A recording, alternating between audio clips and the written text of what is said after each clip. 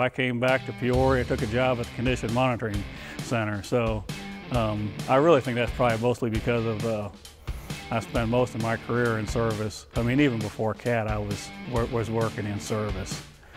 So it seemed like a natural extension of a lot of service jobs before that. It's kind of an odd combination of skills because you have to be able to understand, uh, I guess, understand the data and interpret the data.